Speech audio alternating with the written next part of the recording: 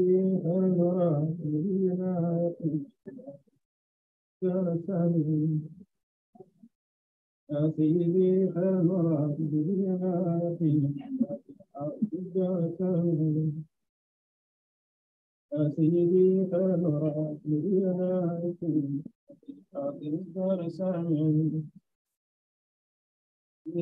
حمرا بناتي حاضر الدار سامي سيدي خير راغبين وقيمتي حاضر جسمي يا سيدي خير الورى نبينا يقين يدي حاضر الدرسم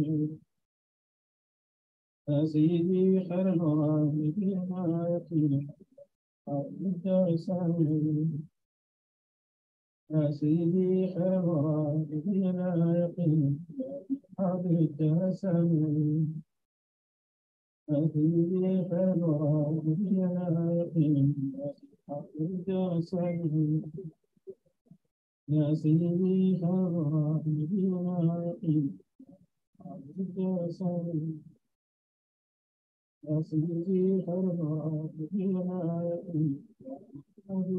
سامع يا سيدي خير الورى نبينا يا سيدي خير الورى نبي لا يقين. عاطف الدار سامي المصطفى المختار المجامع ورب تحيا سيد مدامع وابي سويداء إمداد محمد كابي شوقا بين قوم هواجع تبهجتني ذكرت محمدا يذكر في خلوتي ومجامعي. عند السرور واكتئاب وإن لم نرى أنني بحيه والمرابع قريبي وصيفي والربيع جميعها كذاك شتائي مثل جمع الجوامع. يا سيدي خير الورى نبينا يقينا نادي حاضر الدار سامعي يا سيدي خير الورى نبينا يقينا نادي حاضر الدار سامعي يا سيدي خير الورى نبينا يقينا نادي حاضر الدار سامعي أجرني جرارا هاشم حينما خف لم يكن يوما من تجر بضاعي أجرني بما يغني عن الكل سرمدا ولم يكن عندي من ذاك بمانع. إني ذليل عاجز تحير فقير حقير طارع أي ضارع ما لي نفع اجتلاب ولم يكن لدي سوى مسجد دفع مدافعين. قد لعبت أيدي الرواية كرة المجانب لم يحصنا بالمدافع قد لعبت أيدي الرواية كرة المجانب لم يحصنا بالمدافع لله عز بعده لرسوله وللمؤمنين من الشارع يا رب فضلا مع عزة ديننا سريعا تمحو بخلنا للسوامع يا رسول الله كنت خير من أتاك من المولى خير شرائع يا رسول الله كنت خير من أتانا من المولى بخير الشرائع عليه صلاة الله ثم السلام صلاة تجاه المماتع عليه صلاة الله السلام تكسر في كل بلاد جوامع. عليه صلاة الله والسلام خير الخلق كل مقام. عليه صلاة الله والسلام صلاة بها عليه إطفال الموت مساوي صلاة الله والسلام صلاة بها إطفال الموت مساوي وهو القواب مثلك سيدي عليك الصلاة من جميع أصابعي ليس مع الآل الكرام وصحبه.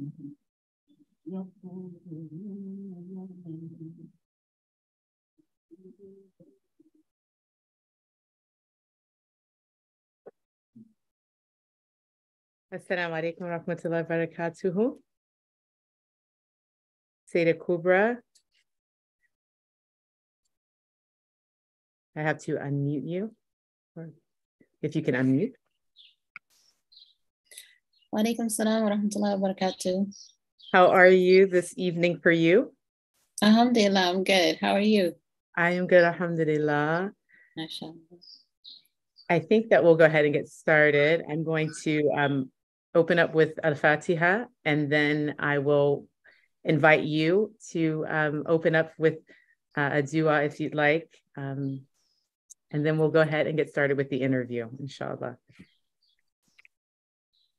بسم الله الرحمن الرحيم الحمد لله رب العالمين الرحمن الرحيم مالك يوم الدين إياك نعبد وإياك نستعين اهدنا الصراط المستقيم صراط الذين أنعمت عليهم غير المغضوب عليهم ولا الضالين آمين آمين Assalamu alaikum again. Sayyidah Kubra, would you prefer that I um, give an intro to you uh, and say a little bit about who you are uh, before you start us off with a dua, or would you like to start with a dua? It's up to you. Inshallah. I think what I'll do is go ahead and get started with your um, a little bit about who you are. So I have a very formal bio for Sayyidah Kubra, uh, Cisse, uh, Askari, and I also uh, was on a, a chat with a group of sisters, uh, Murids, uh, in the Tariqa, and one of them just, you know, um, spontaneously just kind of gave this testimony about Sayyidah Kubra that I thought was so beautiful. So I'm going to start with that and then tie in other aspects of Sayyidah Kubra's work. Before I start, I will introduce myself. I am Sister Aisha Kareem, and um, I am a lifelong friend of Sayyidah Kubra. Um, I'm from Atlanta, Georgia, and so we started off in grade school together, and we graduated from Muhammad Schools of Atlanta in seventh grade prior to Sayyidah Kubra moving to Medina Baye Senegal. So for those of you who do not know, Sayyidah Kubra is Sheikh Mahi's wife, uh, originally from Atlanta. She moved to Senegal at the age of 13 to memorize the Quran, which she completed by the age of 21. She was the second American woman to have memorized the Quran in Medina Baye Senegal, and has now established her own Quran school, as well as a preschool for children before they enter the Quran school or madrasa. She is also a mother figure and also a mother of her own. And for many American students and also students from other parts of West Africa who come to Medina Baye to study Quran and other um, aspects of Islamic studies. Many children have lived with Kubra over the years. She epitomizes grace and humility and service to Allah subhanahu wa ta'ala in a way that seems almost effortless. Subhanallah. One of the things that makes Sayyidah Kubra especially special is that not only is she the wife of Sheikh Mahi, she was, is also a murid and lover of Sheikh Hassan Cisse radiallahu anhu, which is one of the reasons why she's a perfect role model, mashallah. Her advice isn't just as the wife of a sheikh, but as a woman on the path. And so, without further ado, I will tell you, Sayyidah Kubra, that those are the words of our precious beloved Sakina Pilgrim.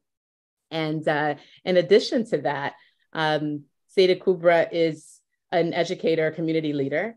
Uh, during her studies, she supported other African American and African children and youth in her own pursuit of Quranic education.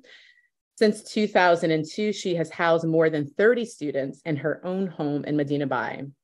Under her care, at least six African American young men and women have become hufaz.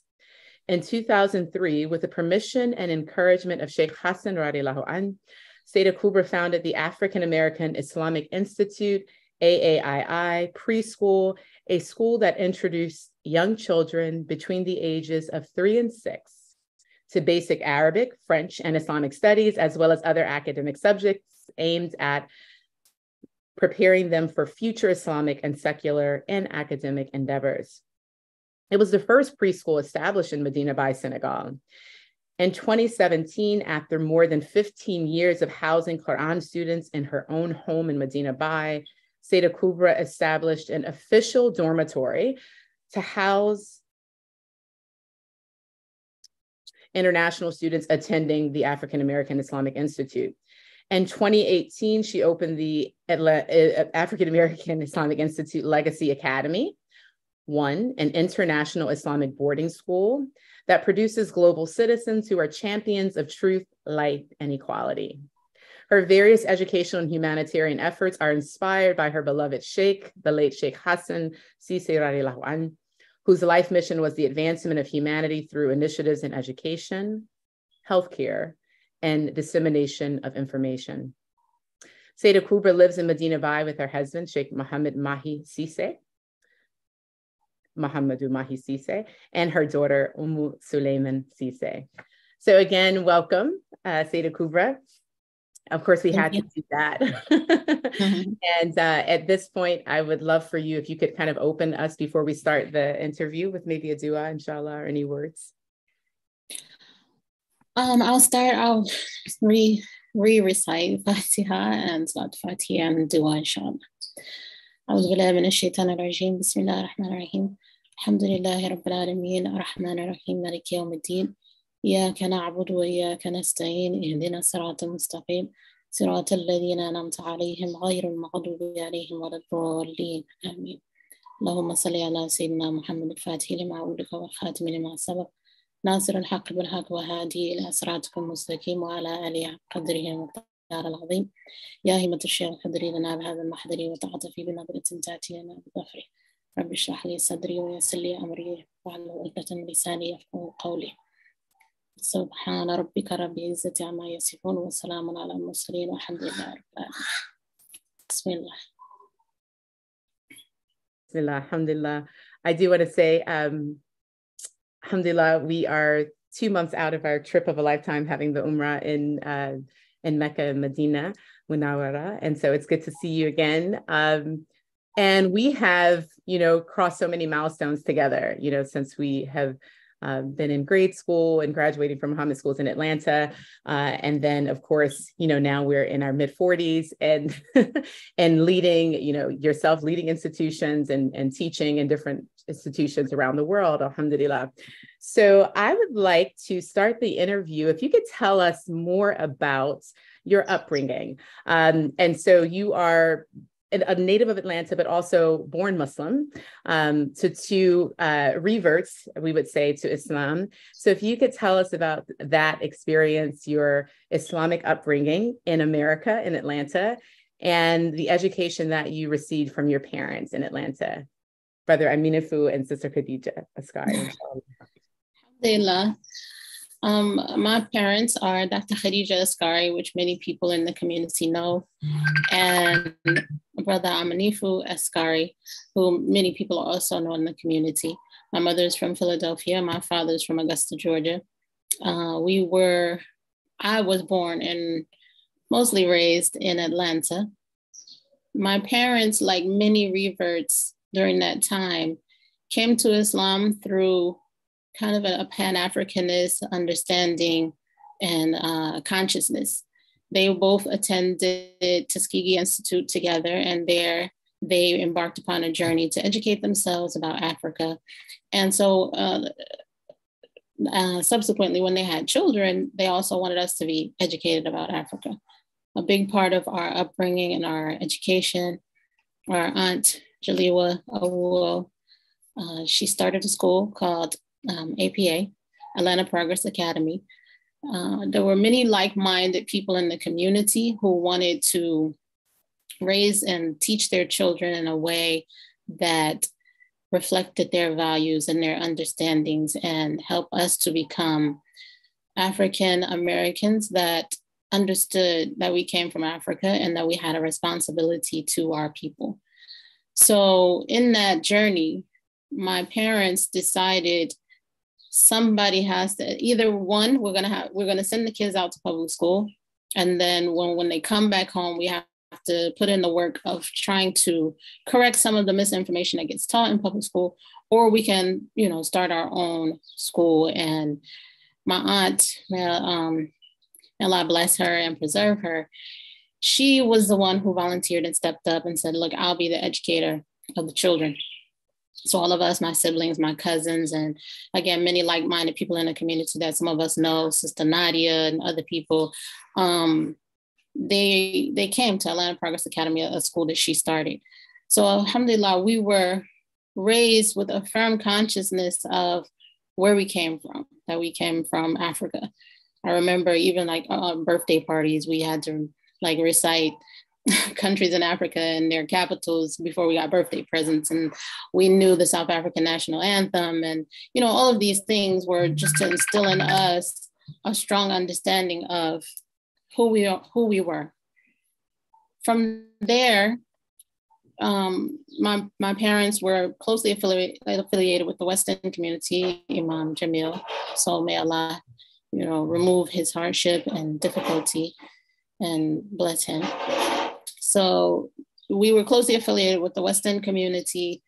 From there, we, um, you know, after some time, it was not always easy to kind of sustain a homeschool program or even like a, a school school program. So we transitioned to Clara Muhammad Schools of Atlanta. I think my first time going to Clara Muhammad, I remember pre-K.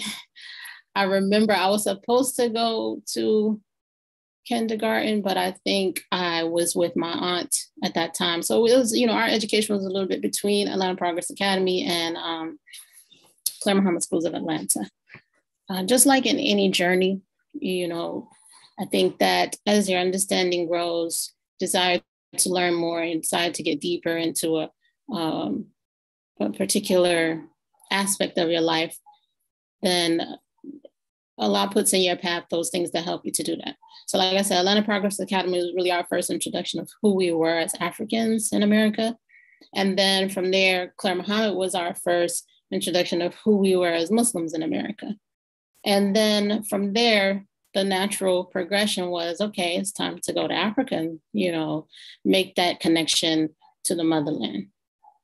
Um, my brother was the first one to go to um, to Senegal with Imam Furkan's son, uh, Furkan, and um, and that is how we started going to Senegal in the in the first place. So, alhamdulillah.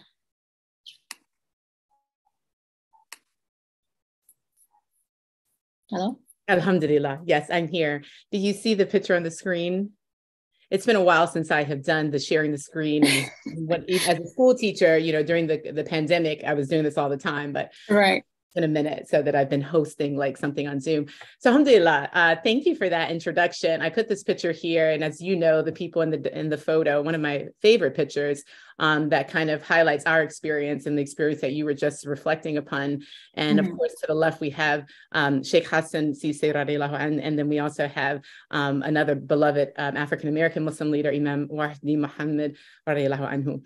Uh, and so you spoke about these two different legacies, right? And so coming up in Atlanta um, and starting with homeschool, and then you know with parents that uh, went to a historically Black college, University Tuskegee University, and the history of that uh, in the South, and this idea of the crossover with the early Islamic movements in America, African American movements, with the idea of doing for self, right, um, and educating our own. Mm-hmm. And so even with Imam David Muhammad, which is, of course, the namesake of the school that you're referring to, Clara Muhammad School, Muhammad Schools of Atlanta, of course, his mother, may Allah be pleased with her, Sister Clara Muhammad homeschooled, right? Because she was not satisfied with the educational um, opportunities in America for her kids.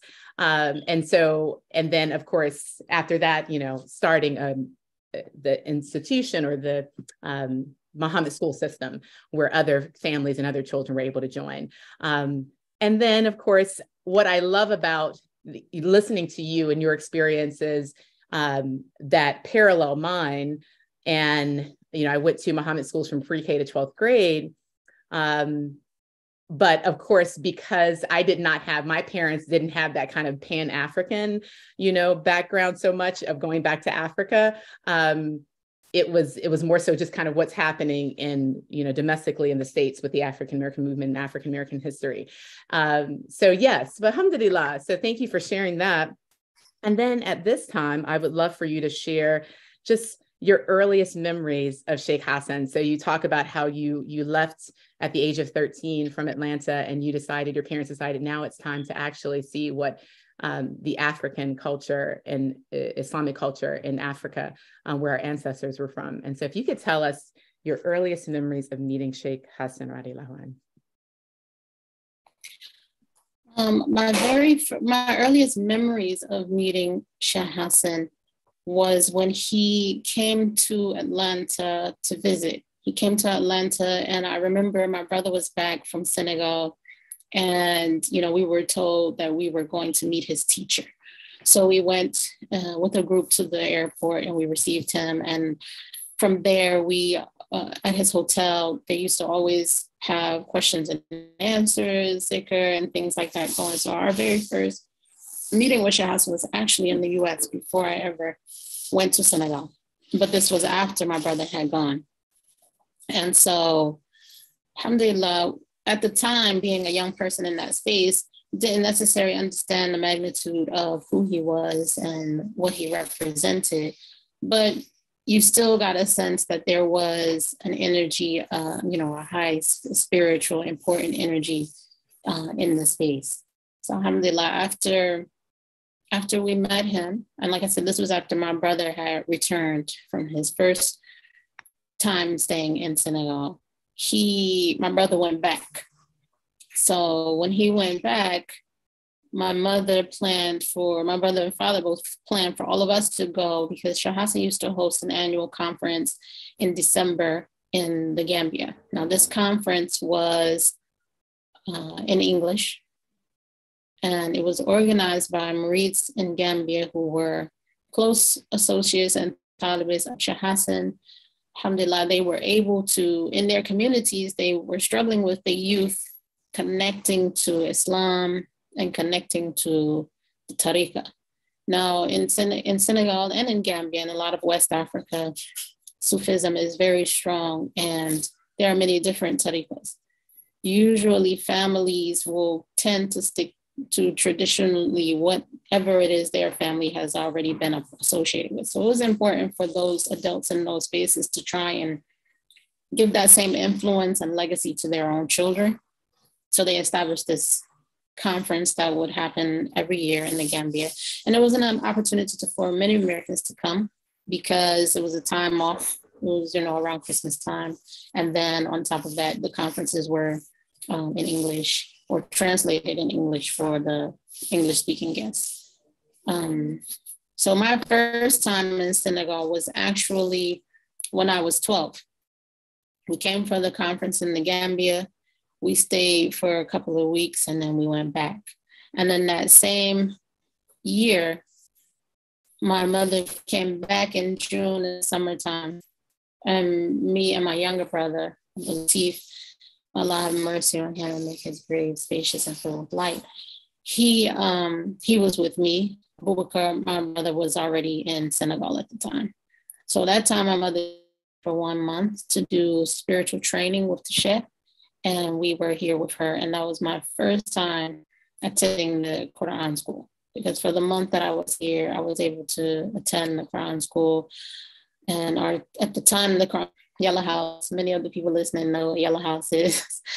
but Yellow House was a house that Shah Hassan had built, and the Americans, many of them, those, those that were there before me, lived there. Um, Sister Karima, um, she was the pioneer of the American students coming to stay in Senegal for any extended period of time because she lived there and she was a house mother for them. You know, Mina Karima and uh, Ahmed Sufi, who you guys interviewed some time ago, all of those people lived at Yellow House. Even my birth time lived at Yellow House. So the school was actually there. Barham Sal uh, was the main teacher, and he had an assistant teacher there named Malam Ali. And Shahasa had, who was from Nigeria.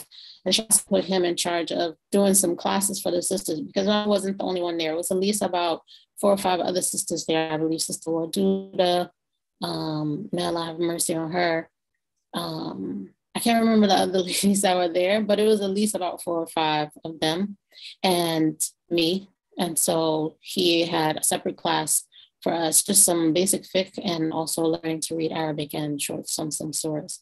So that was my first trip to Senegal. Um, that was when I felt like, okay, I really want to come back and I really want to study Quran. I really want to stay.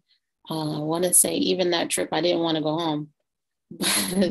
But, at that time, my brother felt like he was at the end of his tenure in Senegal. So he was saying, like, you can't stay because if you stay, then I have to stay. So um, alhamdulillah, he was just like, cool, don't play. Get on the plane, we leave it. so I remember going to Shah Hassan and saying, you know, I really want to stay.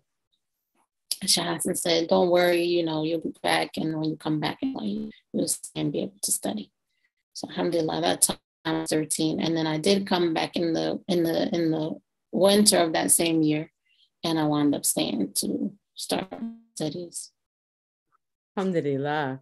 Yes. So if you could tell us um, why you wanted to stay in Medina Baye, um, what impression was made upon your heart uh, and your sight and your vision that made you so compelled to come back um, at such a young age to be so determined to come back? And if you could tell us within that about um, your journey to become a Hafiza uh, while at the African American Institute. Well, first, um, you know, in Medina Baye, there is most of the lifestyle is revolved around the routine of the religion. So you hear the adhan five times a day. At the time, you know, we were in Shah house, so we see him walking, going, and coming every day for, for the five daily prayers. And there was just this very strong connection for me um, well when i when i went in the summertime it was a very strong connection for me to the to the community and just to the the rhythm of the lifestyle there. You know you go you study quran. I had by that time like i said when i was there for the one month alhamdulillah i was able to to memorize one hizb which is uh, 160th of the quran. And um and i just i felt like okay this is this is what i want to do.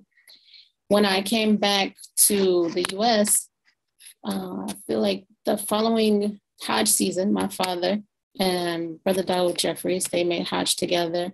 And my mother and Sister Aisha Jeffries, they kept each other company while their husbands were on Hajj. So that time we spent a lot of time at Sister Aisha's house. Alhamdulillah, Sister Aisha had an extensive collection on uh, books on Sufism. And at the time I was an avid reader. So I would just spend most of that time just reading, reading, reading about Sufism. And then I was just like, I just, I just need to go back to Medina. I need to just really just immerse myself in like this spiritual way of life.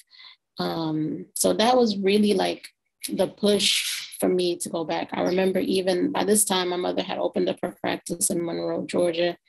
And I just remember the whole time we would go to school on our lunch breaks, I would go to the library and just read books about Sufism. One of one of my favorite books was called The Hundred Letters.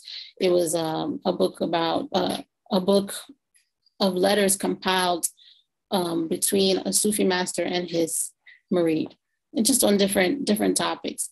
And so the whole time I was just like, okay, I just need to get back to Medina. Now at this time, I didn't necessarily know that Tariqa Tijaniya was Sufism, but I knew that I wanted to be a Sufi.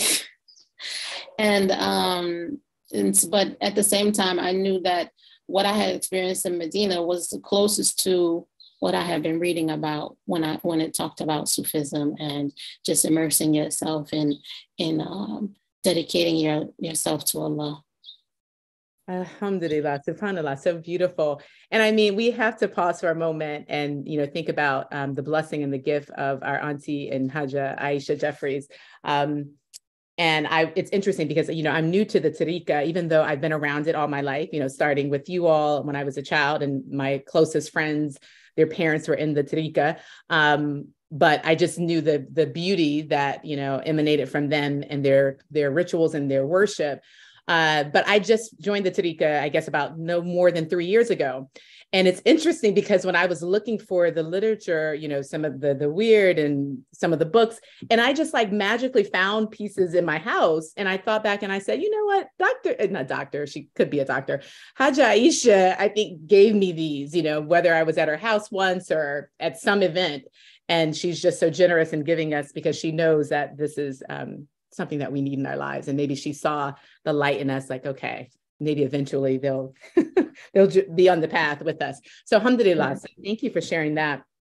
And alhamdulillah to all of those who inspired you along the way um, so that you can fulfill the potential that you are actualizing now. If we, so we want to get a little bit further into the interview. Um, if you wish to speak on this, uh, what aspect of your beloved mother, Dr. Askari's work contributed to your colorful success story in Medina Baye? Um, just yesterday, I was invited to um, a banquet, um, the Abu Bakr Award ceremony and I was with my father earlier and I just couldn't fit it into my schedule. But someone sent me a video and there was the beautiful, graceful Dr. Askari, um, you know, facilitating the award ceremony. And I was just like, she's just, she's just amazing. She's just been doing this as long as I can remember since I was a child, you know, just spearheading these movements and just activities and fundraisers um, and just keeping community together. So what as if you don't mind speaking about that um, and if you wish not to then we can also go to the next question so um so at the time our very first trips to the U uh, to Senegal um it was before my mother and father were together but at, at some point um they separated they divorced and my mother was remarried to Shah Hassan so we were Murids of Shah Hassan, but we were also uh, children of Shah Hassan. Um, and she became a very integral part of the mission, the work that he was doing. You know, anything that was happening, you know, she was a part of, and by proxy, we were a part of. I remember Sheikh used to host um, different sharifs and he would want them, you know, to do something special for, for them. And he then they would call me and say, Kubra, you know, your mom has a juicer, go make some some juice, some fresh juice for the sharif. And, you know, so there was always something happening for sure. And I think that uh, us being able to be in the space and in the household of the sheikh, even not just as Murid, but as family members, you know, it was because of my mother's connection to him. And alhamdulillah, her connection to him also helped to expand the vision that he had for the work of African American Islamic Institute. So the African American Islamic Institute, right now, it has a Quran school, which is a school that I mentioned started at Yellow House, it has an Arabic school, it has a clinic and radio station. And alhamdulillah, we would have been there when most of these things have started. I wasn't there when the Quran School started, but I was there before it, was in the building that it is in now. And even the, the Arabic school, the catalyst for it was there was a period where many of the students were not 100% focused on memorization. They were kind of like, okay, you know, I, I memorized some, you know, I'm going to school today, I don't go to school tomorrow, you know, kind of thing. So she said it makes more sense for us to incorporate Arabic language and Islamic studies for these students so that when they go back to the US, they have, you know, a, a plethora of knowledge to take back and um, and they're not just you know here wasting their time there's many things that still left to be learned so the very first arabic classes started with us he hired three teachers from Mauritania. And they used to give us classes. And Shahmahi was the fourth teacher. If, if anybody didn't show up, he taught us as the substitute. and um, from there, then the, the Arabic school was built. But as far as the clinic, my mother, when she first came to Senegal, she saw the need for medical care in the community. And at that time, she was working at Southside Medical Center, I think right off of Gresham Road, somewhere over there.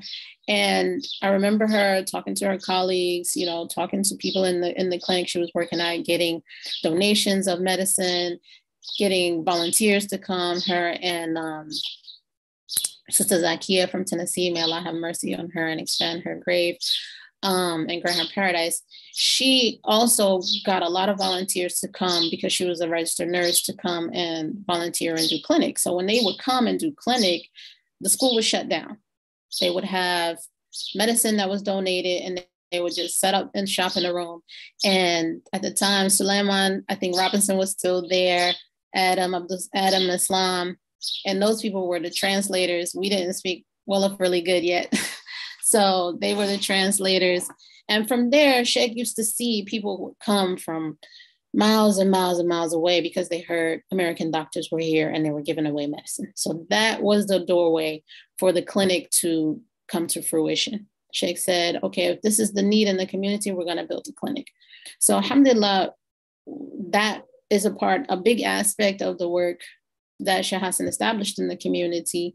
And of course, you know, us being in the in the school, my main focus right now is education. But at some time, I was working with the clinic to try and and um, I guess uh, revitalize the efforts because some of them had, uh, how do you say, uh, wavered after Sheikh.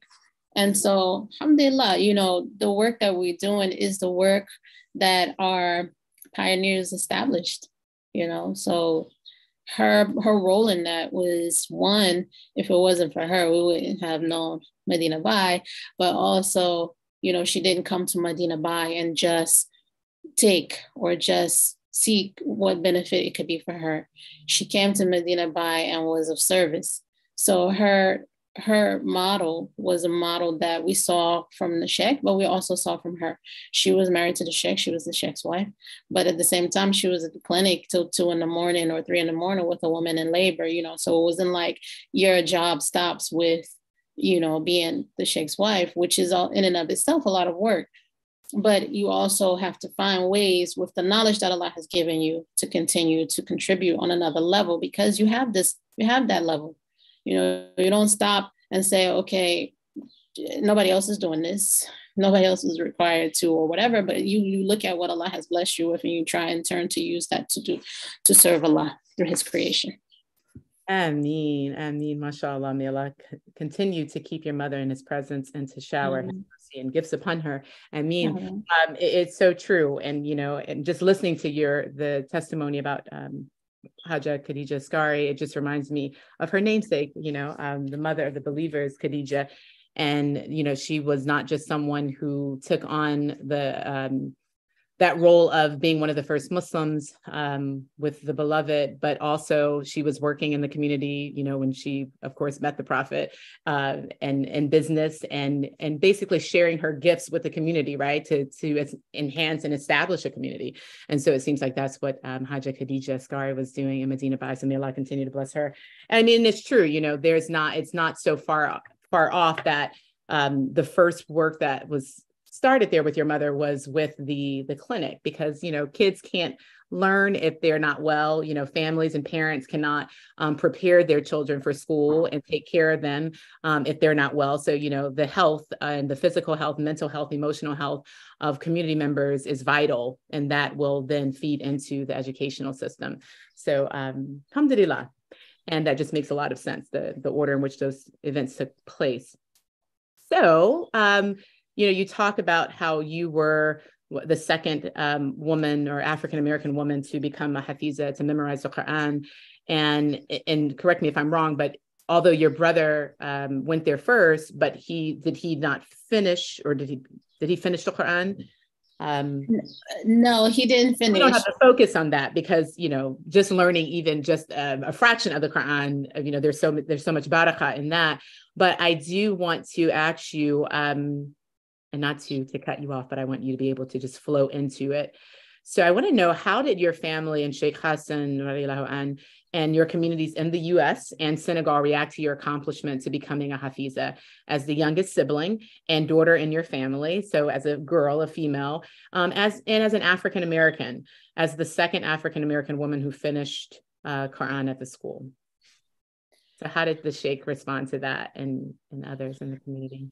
Um, so I studied Quran for seven years. I came when I was 13, I completed when I was 20.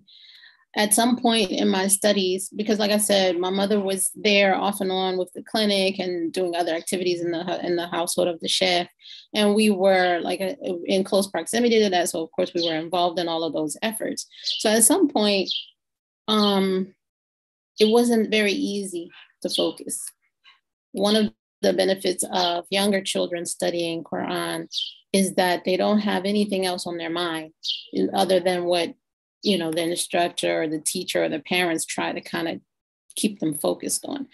As, as you get older, you know, as you reach puberty and things like that, it can become a little more difficult because there's just so many things that you think not necessarily that is true, but that you think may be important, you know, as teenagers and, and things that are happening and other things that are happening to people that are your age in the community, they start to, to, to crowd, crowd your thought, your, your thoughts. So at one point, I actually left Medina Baye and I went to Kosi Atlanta, which is about I don't know the distance, but it's about a 30, 40 minute ride from Medina Baye.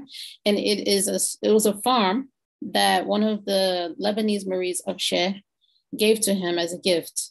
And he also and the and the Senegalese government extended the, the acreage of the farm to include enough land that would encompass a small city or village uh, with the hopes that he would populate it and establish it as a, as a city. These are some of the efforts that the Senegalese government uses to try and keep the rural areas populated. So Hassan named the community Kosi after his grandfather's village, Atlanta, because of the connection between his family and the American community. And the intention was that eventually it may have been a space for the Americans to come and establish and build and live. So I, li- I lived in Kosi for three years, studying Quran with my teacher, who was a nephew of Shah Hassan. Shah Hassan had actually reached out to him and asked him to come personally to teach me when I had moved out to Kosi. And so Shah Hassan was very involved very involved with my studies. And I think with, you know, like I said, there's other people I, I'm, I think you all will get to interview, but I think he was very involved with all of our studies. Like you couldn't walk in Sheikh Hassan's house and he was sitting in his courtyard and he would say, where are you in Quran? Recite for me.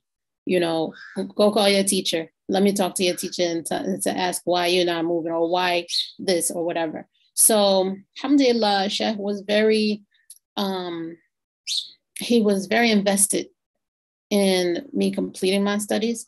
You know, he helped with advice. He helped facilitate me being in Kosi when I left Medina. He helped with prayers.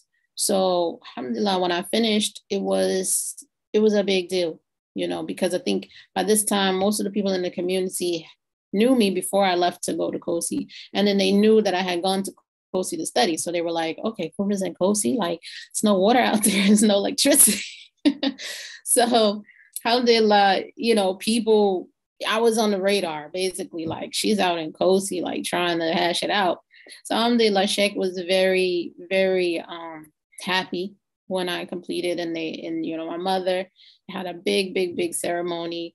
The, the in Kosi Atlanta, actually, I think I, I shared with you personally some photos from the ceremony and they, um, yeah, everybody was really, really excited. So uh, there at, at one point, even when we came back to the States, I want to say maybe I was in the States for a few months.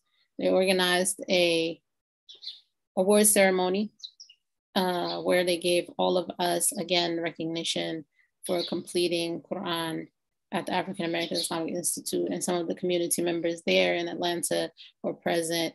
Uh, uh, Imam Bilal Mahmoud and other people had came to attend. So alhamdulillah, I think that even though it's not a tradition that is very celebrated in our communities, is becoming a tradition that's very celebrated. Uh, as far as the people here seeing you as African American, their connection to understanding us as African Americans is a little different than us identifying as African American. So it's not that, oh, it's an African American that finished Quran more so than it is an American. Because Sheikh always used to say that he used to call the teachers and tell them that it was more important for him that the American students got Quran than even his own student, his own children. Because he said where they're going, Quran is a light you know, in a place that it doesn't have many lights. So it's important for them to have this Quran, to get the, this Islam, to be firm in it, and to, to be able to take it back to where they're going. Yes. Um, you answered or touched on some things that were going through my head as you were speaking. Um, of course, I like to think that, you know, people see see how special, you know, we are as a people here that were taken from from Africa and then brought here, right? And so I was wondering when you were saying that you were, I love this idea and this imagery around going to go see Atlanta. And then I was like, did she say Atlanta? Like, is that what I heard? So that's a beautiful story.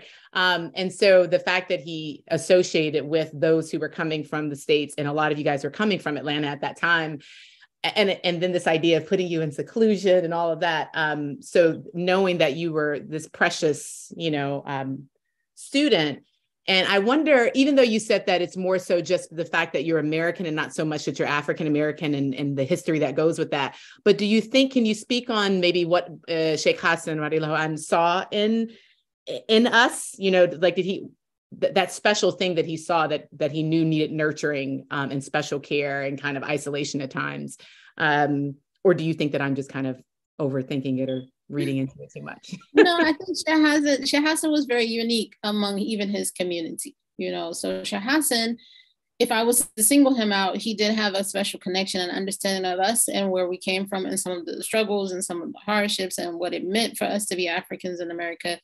Um, but I, I, when I was answering I, I meant generally as a whole, you know, as a, as a whole, you know, people will say, oh, American. But Shah Hassan had a different understanding. You know, when you when you get a chance to to interview Amina Karima, you'll see like Shah Hassan lived in in in in the States for a while. He studied there. Um, so he had a very unique experience with African Americans and understanding some of what it meant to be African American.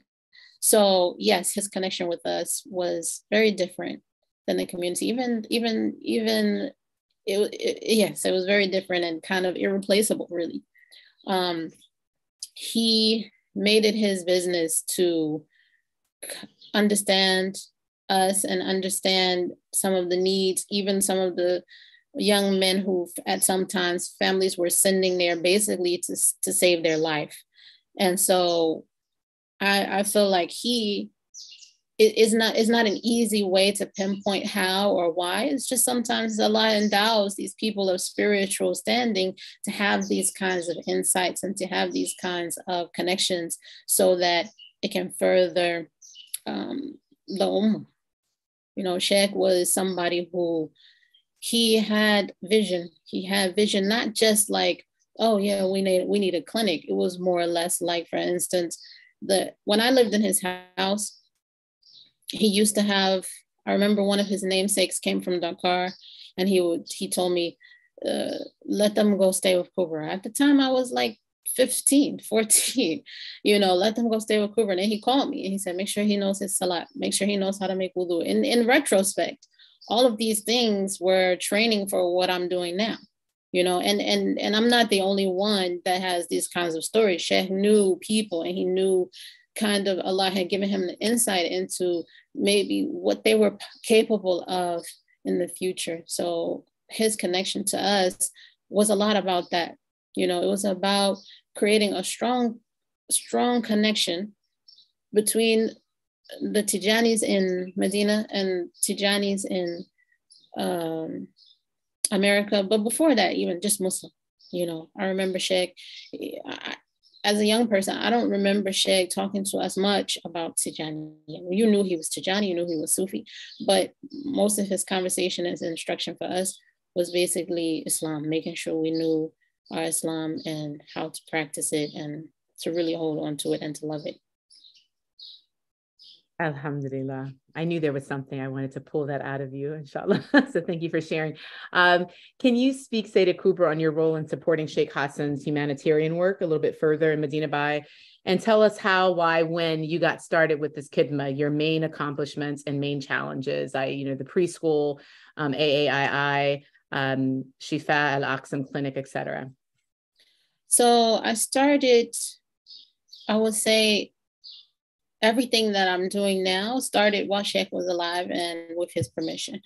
I remember, like I said, when I lived in his house, and at the time I may have been 15 or 14, and he used to send children to me, not even just his namesake, it was more, than more than one occasion. He would say, let them go stay with Kubra, let them go stay with Kubra. And at the time he had his family in his house, his wives, his, you know, but there was something that he wanted to train in me to be able to do.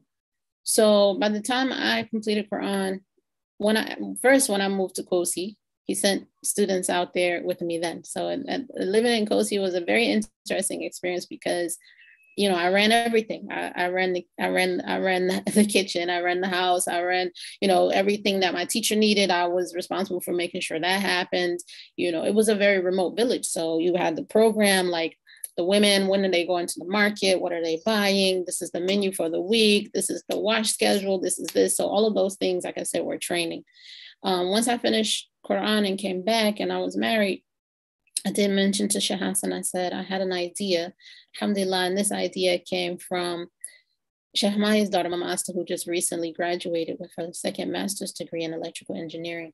She was three. She'd come to my house, and at the time I was nursing Ummu.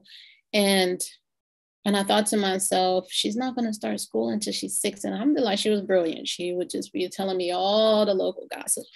And so I said, let me teach you something. So I started teaching her English and I started, you know, whenever she would come over, take out coloring books and teach her colors and things like that. That was the idea for the preschool.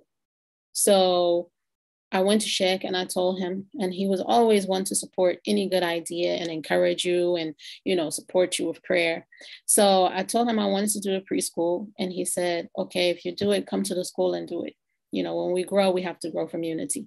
So the work at the preschool started with Sheikh, and Sheikh used to say to me, you know, we have two buildings. The school is structured, there's two buildings with a courtyard in the middle he said it's called African American Islamic Institute. You Americans, you can take one building, the Africans take one building. So um, the preschool started with Sheikh Hassan giving his blessing. And then um, my thought process too was at the time, Sheikh Mahi was the director of the African American Islamic Institute and still is, but not as active. Um, and I would give, basically be killing two birds, killing two birds with one stone. So uh, two two birds with one stone in that I will be able to do khidma for Sheikh Mahi and also do khidma for Sheikh Hassan. Then at the same time, um, I think Majida was the first, she was a part of the first group that I had at my house studying Quran. She, you know, her mother wanted her, she herself had a desire to come study. And she told her mother, and her mother said, you know, you can go, but only person that I will let you go and stay with is Kubra. So she came to stay with me. And then after that, Shah Hassan was like, okay, Kubra, you got the teenage girls. So, you know, make sure that, you know, you look after them, make sure that they have, um, that they're t- studying, make sure that they're praying, all those things. So Shah Hassan, again, was the one who supported that work. And that was, was led to the dormitory and then the Quran school that's there now. Majida was there with, I think, Amatullah, Habiba, uh, Munira Dempson, as Usman Dempson's sister, and Badria, Sister Nisay's daughter. I think they were, and Inaya from New Jersey. They were like my first group.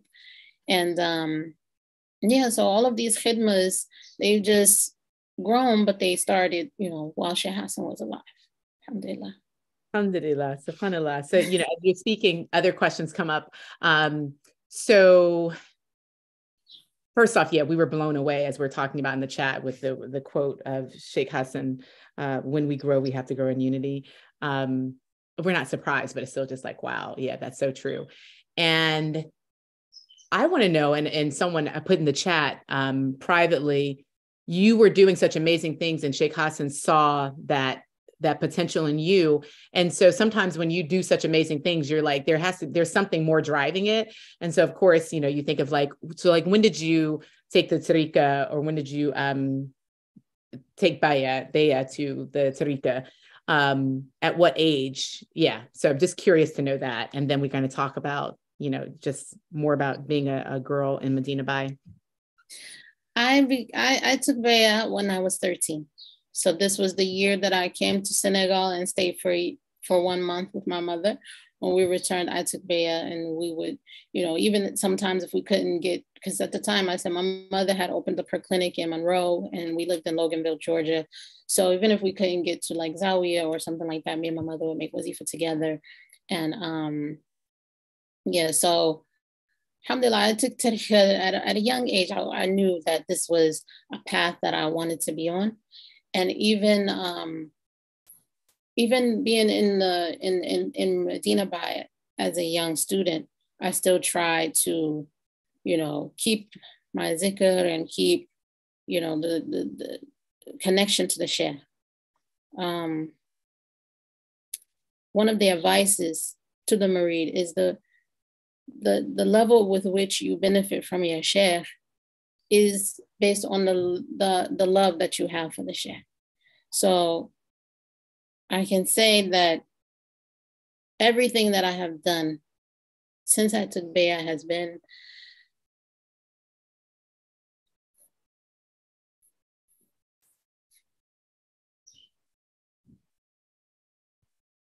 Subhanallah. MashaAllah, Sayyidah.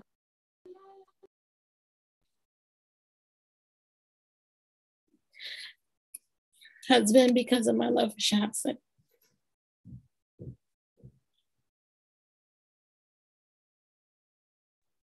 boo fi jooyee du baax di yaa ngi yàq sa interview bi di mu yéen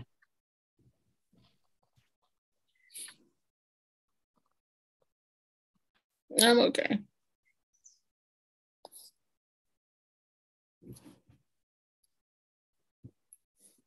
Yes. Alhamdulillah. It is She say, it's very moving um, and inspiring. So it really is uh, a miracle of Allah subhanahu wa ta'ala to see this all come about. And um, I don't know which picture is, is on the screen, but it's us Umrah. us at Umrah, alhamdulillah. Yes, yes, such a magical time. Um, yes, alhamdulillah.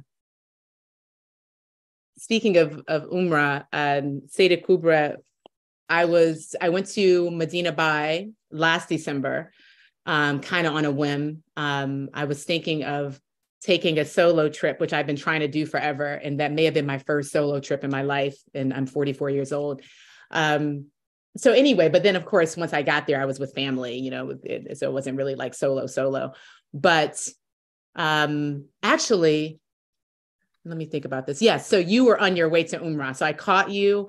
You were at the the AAI at the preschool, um, and then you were on your way. And I remember you you told me that you make a dua every year. You make intentions to make Umrah every year, and I was like, oh, that's an idea. Um, you know, because a lot of times people think, you know, Hajj, Umrah, just once in a lifetime, especially Hajj. But I think you said like you make intentions to make Hajj. Of course, you see that example around you with Sheikh um, taking the making Hajj every year. But it's something that I've taken to heart. And my sister Jamila, uh, when she sent her duas with me for this Umrah, uh, one part of the dua was that asking Allah subhanahu wa ta'ala to give us the provisions to, to visit the sacred places, Mecca, Medina, um, and Medina Baye, like over and over again. I say, yeah, like why not? So inshallah, you'll be seeing me in Medina Baye again soon. I don't know, you know, how it's going to happen, but inshallah, it's just so important for us to be connected to these, these holy places. Um, alhamdulillah. So in this picture too, as you all know, a familiar face in the middle is our beloved Zakia Grant, who is the wife of Hanif, um, who's also one of the um, great Murids of Sheikh uh, Mahi as well. And so I was just so pleased to have her with us on the trip. And Sayyidah Kubra is, she's so graceful and humble.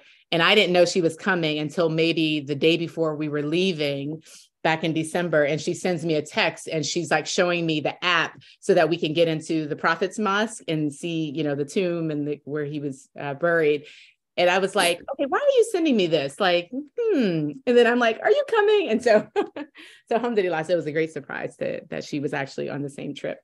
So we're going to get back. Um, Sayyidah Kubra, we're not going to let you off the hook uh, with, okay, I have to stop. I, you know, you know my sense of humor, but everybody else doesn't know my sense of humor. So stick to the script. And the next question is, you know, we I love to talk about um, the, the status of women and girls in in educational institutions and Islamic communities. And um, I wanted to know, you know, as a woman of American descent, because there's a different um, perspective of of just Americans in general, but also being a young girl coming from America, born to two American born parents. So, you know, your parents were not from the African continent per se. What lessons did you learn from Sheikh Hassan about? And you've spoken on this a little bit about how girls and young women should contribute to Medinabad community. Um, yes, and your role in supporting Sheikh Hassan's um, humanitarian work. But we talked about that, but more so just about Sheikh Hassan and the lessons you learned for him about how young girls show up in that community, but just show up in the world in general. If you can speak to that, inshallah. So Sheikh was a, you know, of course, he was a champion of, you know, of women and girls. He, you know, his daughters are Hafiz and and he always encouraged us just like he would encourage the boys, maybe even more so. You know, he used to say often in his talks and places where they invited him that one of the sayings is that if you educate a woman, you educate a nation. So it's important for, you know, us to continue that legacy. You know, I think um, Hajj Aisha Jeffries talks a lot about, you know, just being intellectually responsible for our own understanding of our deen and how we practice it you know just knowing for ourselves impl- eh, you know implementing it for ourselves just because we want to be spiritually growing you know? And the only way we can do that is if we know. If we don't know then we can't do it. So Sheikh was always a huge proponent of you know women studying. Every conference that Sheikh Hassan did after I started my Quran studies, he would always call me to open, Kubra, come, recite, you know. So I remember one time telling him, Sheikh, I'm afraid to recite in front of people. He said, Why? For what? You know, when I have something to say, I just say it. Which I thought was a very simplified way of looking at stage fright, but but I was like, okay, I guess I don't have a choice.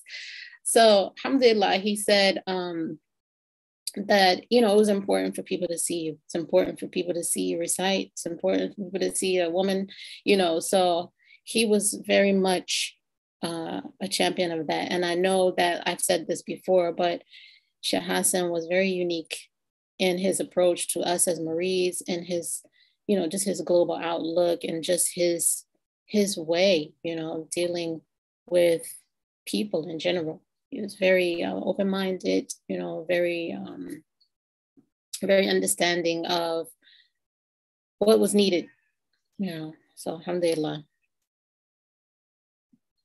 And I always empowered the sisters. Forgive me. He used to say, "Ladies first. I mean, yes, yes, ladies first. Alhamdulillah, we love to hear that. Um, so yeah, and, and I'd imagine that also the role the um, amazing role that his mother um, and his aunts and the other women in the community, the elder women, played in his own education has a lot to do with why he values the Quranic and Islamic education of girls so much. Would you would you say that has a lot to do with it? Um, yes, his um, his mother. I don't think that she was Hafiz, but she was able, you know, she com- she was able to read the whole Quran and she read it often. She was um, she was one who uh, how you say in English? She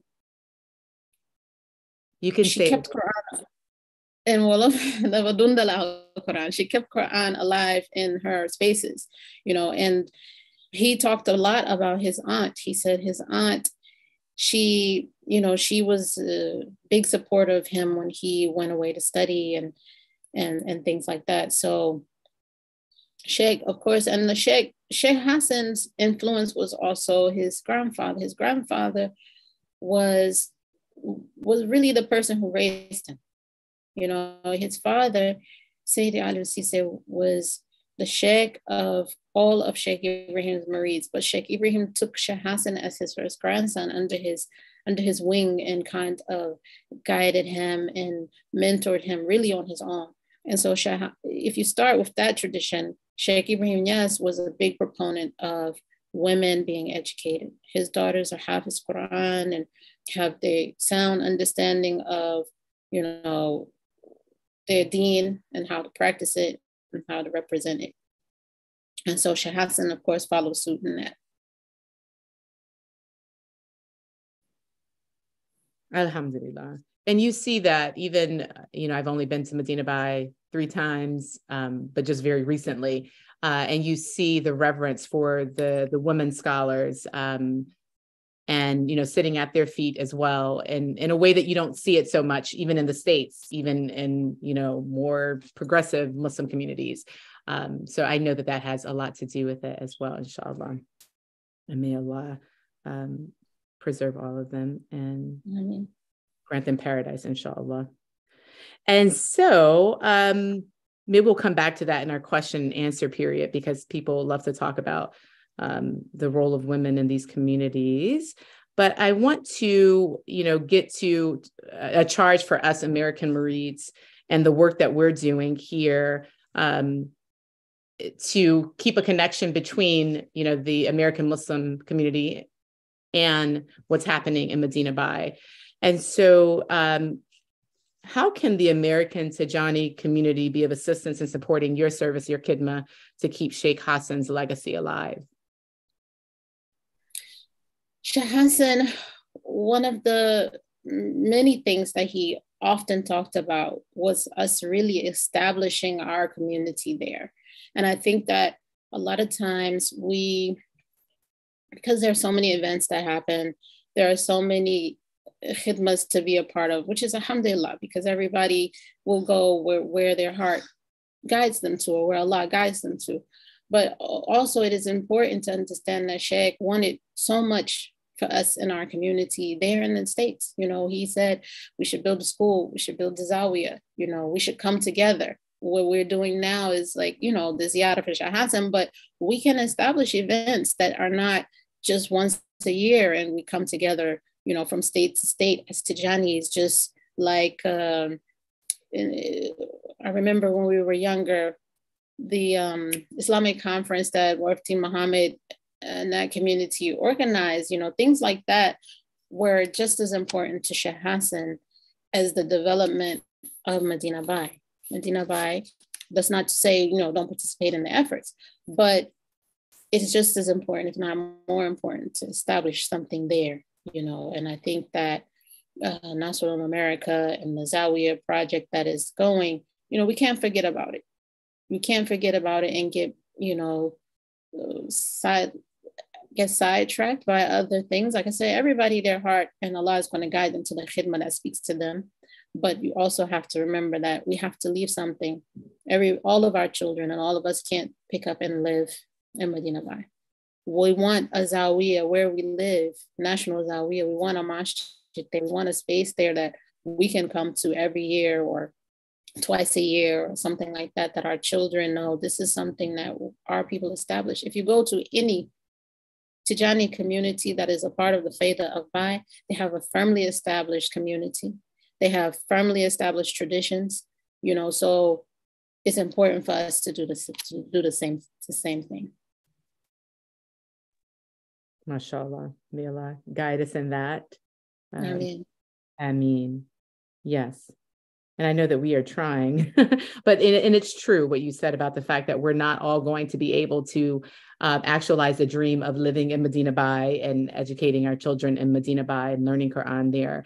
Um, and so and we have the potential if we just kind of you know bring our resources together um, and and do a lot of dhikr and pray really hard that these these things can get off the ground, inshallah. I mean, and it may be generations to come, but if we just kind of stay um, consistent and just continue to persevere, inshallah, our efforts will be rewarded.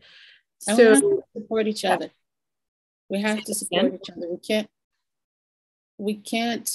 Uh, you know, like she said, we have to grow from unity. One of the du'as we have to make is also that Allah keeps unity in our hearts. You know, if we see somebody in America doing something, we can't sabotage their efforts. We have to support them, you know, and we can't sabotage their efforts. And then if we see someone else doing something we run and we support that, we have to support each other as Americans too. Mm-hmm. Absolutely. Absolutely. Yes. Say love is the way and love and connection and wanting for our brother what we want for ourselves. You know, I mean, it's very commonly stated um, saying of of the Prophet but it's definitely it has a lot of depth and meaning to it. If we could really strive to just follow those simple um, etiquettes. Uh, so since you're still living in Medina Baye, from your perspective, in what ways is the legacy of Sheikh Hassan still illu- illuminated um, and very present? And in what aspects of his legacy teachings and vision are being forgotten or misinterpreted? I think that, um, you know, I touched on it a little bit. I think that the goal was not supposedly for us to run away from our community with our resources. Part of it was to continue to put our resources in our community and establish something there. That was one of the things that Shah has. and one of the reasons, like even if we had decided to come to Africa, Sheikh had named the whole city Kosi Atlanta so that we would have our own little hub within um, you know, Senegal. But some of the ways that his legacy is still being illuminated is through his brothers, alhamdulillah, who were his deputies during his lifetime and helped him to move this work forward. And, and the other muqaddams that are all throughout, all throughout the states and all throughout Africa, many, many uh, people are still doing the work. The work that that's being done is not, you, is not, how can I say, it's the work of Islam. So it's never going to stop you know, educating people in Islam, uh, supporting Quran and Quran education, supporting people in their health needs and their uh, food security, all of these things is the work of the sincere Muslim. So, in that regard, Shah Hassan's legacy will never stop, particularly the, the things that he's established. The clinic is still there functioning, the radio station is still there functioning. Um, the school is still there functioning. It needs our support. I know there was a fundraiser done uh, during the Ziyara to help to renovate it, which you know is going to cost more than what was raised. So it's an ongoing, it's an ongoing uh, khidma. But again, like I said, his brothers, Shah, Shah, Shah and Shah Ahmed Tijani Cisse is the imam of the masjid there, and Shah Hassan was the imam. So alhamdulillah, it's a legacy that was able to be passed from him to his brother, which is a big honor in that community and a big honor for the family, for the imam imamship to stay, you know, with them.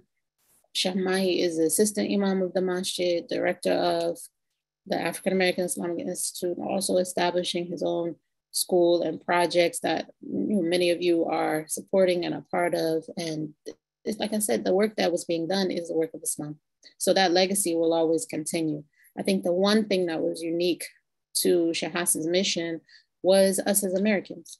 And the focus and the attention and the love that he, you know, gave us was really to nurture us and help us to grow and to push ourselves to to be scholars, to be resources for our communities, to establish zawiyas, to establish Quran schools where we are. You know, Hassan and those people, they have Quran programs, but are we supporting them? You know, we have to ask ourselves these questions as community, and it's okay to support all things good, but we also have to, you know, try and, uh, you know, just really honestly divide our resources and support everything that's good. And mm. like I said, Shah Hassan was very specific about empowering our community as Americans. And, and that was one unique aspect of his legacy that maybe kind of fallen to the wayside. MashaAllah. Thank you. We are we're getting those subtle messages and we are taking notes. and we've got work to do, inshallah um, and and as you know you know since you still have family here and you visit you know often you know what we're up against right? Um, in this society in this american society and in these days and times that you know it as a lot of things it's easier said than done but um but again we have the resources and we and it takes a certain mentality right? And a spirit of love um yeah and just knowing what the legacy is. So inshallah we just need these reminders as well to kind of stay on the path to to getting the work done. Um, yeah, it, you know, and as you were speaking, when you said that the first example of the legacy that still remains are his brothers, may Allah be pleased with them and continue to elevate them.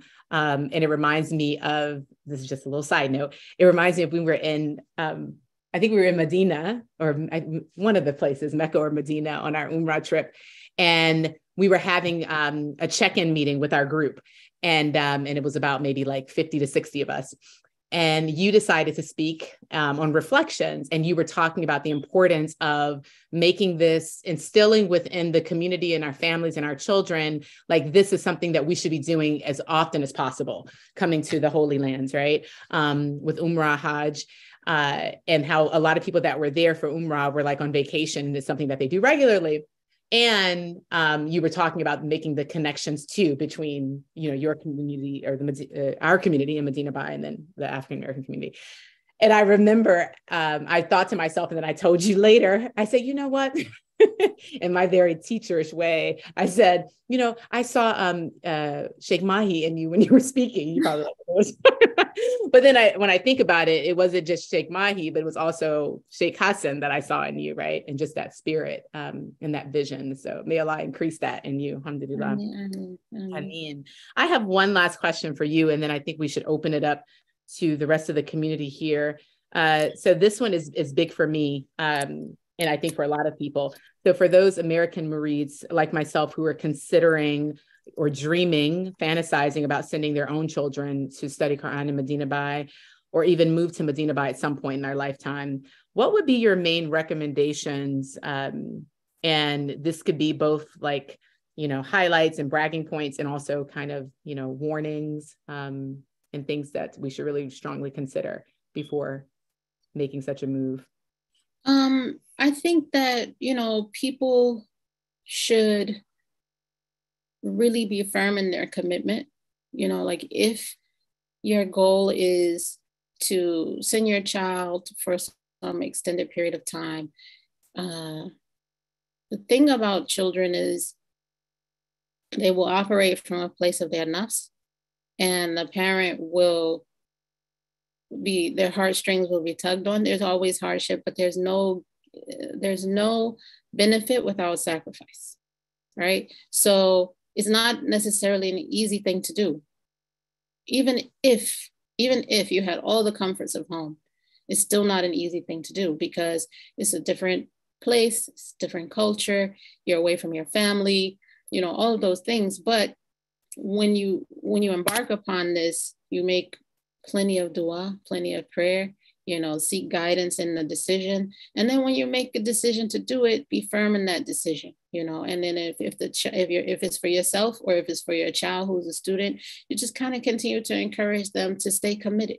You know, really that's one of the major things that we as students that have been to Senegal and studied in Senegal, that's one of the biggest things that we've learned from our journey. That commitment and that discipline.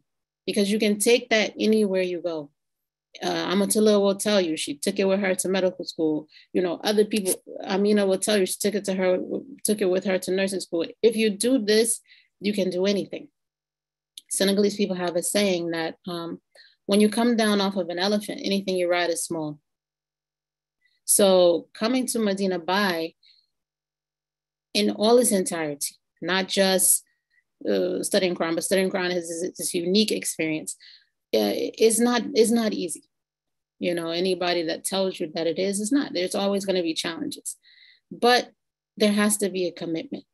And that commitment like you said what drives us to do khidma what drives us to be committed to the work and the legacy has to be based in something inside you that wants more than what you are able to get where you are you know, either either it's that, that love of Allah, the love of Quran, the love of the Sheikh, the love of the spiritual path that's going to be able to help sustain you to be able to do it. So my advice would be just be clear, you know, about how committed you are to it before before doing it, because it's not easy to um, to kind of make the arrangements to come to endure, you know, the, those kinds of costs and all that kind of thing. And then you come and it's like, I can't take it, I'm leaving, you know? So it's not, it's not anything that's worthwhile is, is, is, is, is a challenge. So that's my advice. Alhamdulillah. Yes. Um, hmm. I was thinking before I hand it over to the rest of the the lovers and the group, the beloveds here. um, if there was something that I wanted to touch on. And um, I do want to highlight very quickly, I think uh, one of our Ruhul Adab hosts shared a reminder. So I'm just going to share that really quickly, and then we're going to open it up for questions. Hmm. As I do this, Seyda Kubra, what's anything on the horizon with the school? I know that we've had some private conversations about projects that you're trying to start. Anything heavy on your heart and mind about things that you're trying to do with the the the education of those who are coming from abroad there and even with your students that are currently there? Um, personal projects. Uh, you know, we talked a little about this, a little bit about this on Umrah.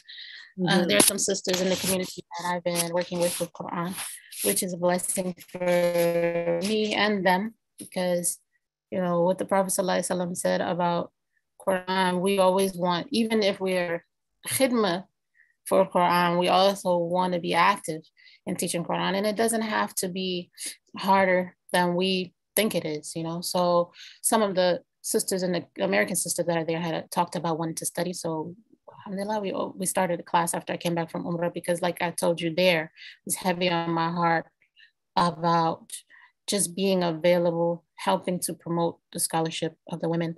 And um, and I felt like this this was a doorway to to do that, just to kind of train myself even to be committed to actively teaching.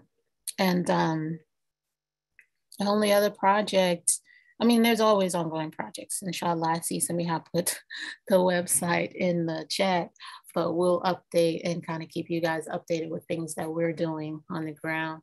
But um, yeah, alhamdulillah. One of our students is on her way to Malaysia to study asthma, keep her in your duas. Um, it's big, you know, it's not a small thing. And these are people that we need to support because inshallah they're they will come back and contribute, you know, to our community and raise the bar, you know.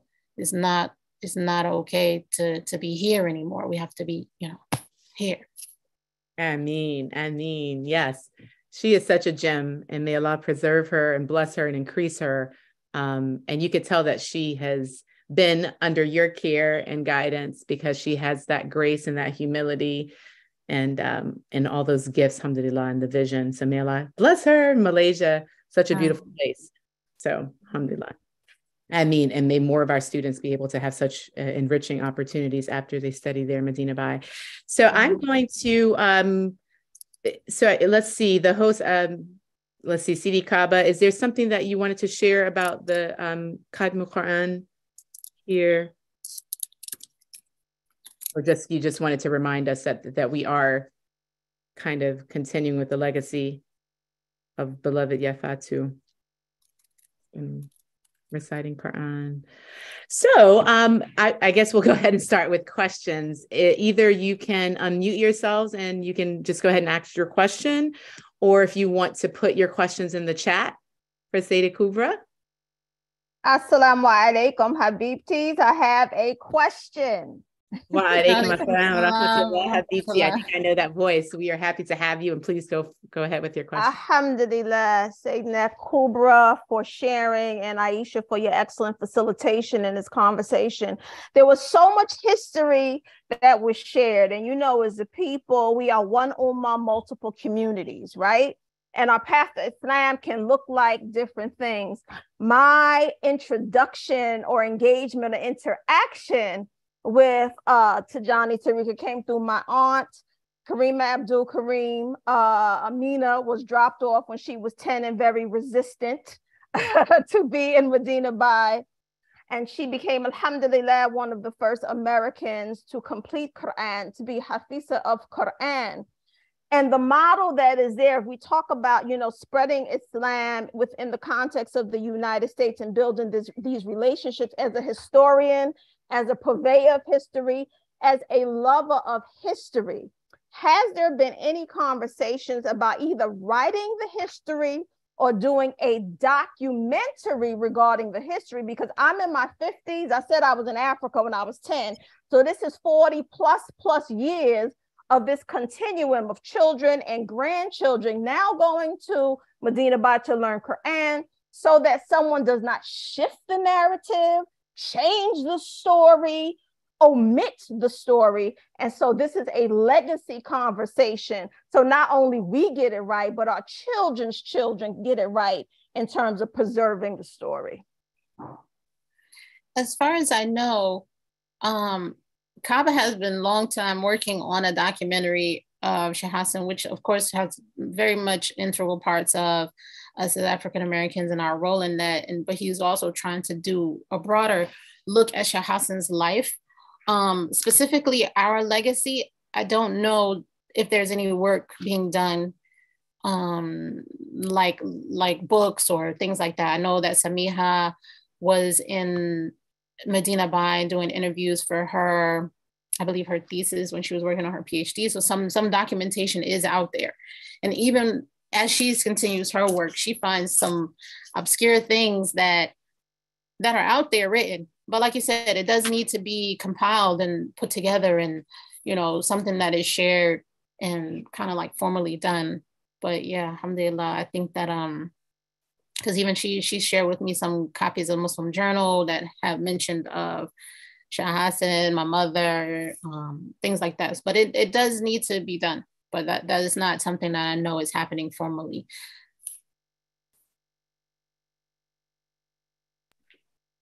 Thank you, Majida, for that.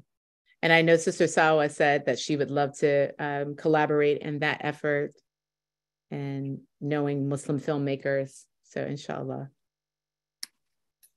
Are there other questions? Assalamu alaikum wa rahmatullah. Wa alaikum salam. Sayyida Hadia Kubra Cisse Deriganja. Thank you so much for all your words. You brought a lot of things to mind.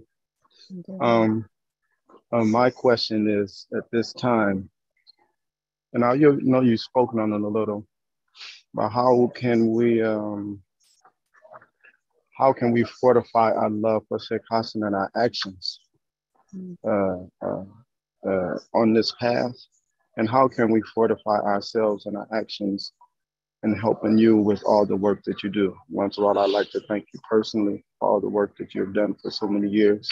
Alhamdulillah, it was a blessing being there when you were 13 up to the time and being able to help you when you were finishing Quran. So. Alhamdulillah. Yeah, Kafani was a big part of of our operations in Kosi Atl- Kosi Atlantic. He actually taught me how to drive. Um, um, so thank you for that too. May Allah bless you and reward you. I think that one of the ways that we can fortify our connection and our benefit from Sheikh Hassan is just to try our best and, and, and, increase our efforts in what he's taught us. Sheikh Hassan loved love for us Quran. You know, even I remember one time he came to the school and I was making zikr in the classroom and he told me, no, don't do this in the classroom. Wait till you get home. Because for him, Quran was very important for us to have and to teach and to establish in our communities. And um, so for us, I think that remembering what was important to him and kind of focusing our efforts there, like I had mentioned earlier, trying to establish the, the, the national Zawiya was something that he mentioned all every time he came to the States. Um, trying to establish a Quran school where people can be in the States and, and attend, and maybe something that Hassan, you know, I'm, I'm putting him on the spot, and maybe something that Hassan is interested in doing, like you know, summer boarding program or something like that. Whereas Hassan, eh, Quran is given the attention that it deserves. One of the things that Sheikh said, yes, is that Quran is jealous. He said Allah is one, His Prophet is one, His book is one. So you can't associate it with anything. Uh, Quran is one of those things that when you focus on it, you have to focus on it. And so I think one of the, the, the major legacies that he wanted for us, and he used to talk often about, you know, my mother, she had land in Monroe. He said, they're going to build a Quran school in Monroe, you know. So it was something that he really wanted established in the US. And I think it's something we should renew our efforts to try and bring to fru- fruition. Um, as far as the work that I'm doing, keep me in your dua, inshallah. I think that the power of prayer and that collective energy manifests so many things. So please keep me present in your dua and in your mind and in good intentions and in good thought. I mean, thank you for the question, Brother Kafani. And that's so beautiful what you're saying. And it just um it moved me because I just remember your Seyda Kubra has been gracefully, gently encouraging me probably for a couple of decades to kind of find my place in this, you know, since I've been an educator for 20 plus years.